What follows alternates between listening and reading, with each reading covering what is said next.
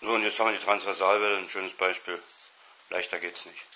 Das heißt also, unser Pendelmodell zeigt dieses hin und her. Das kann auch hoch und runter sein, das kann auch kreuz und quer sein, aber eben nicht in Ausbreitungsrichtung. Das heißt nicht vor oder rückwärts.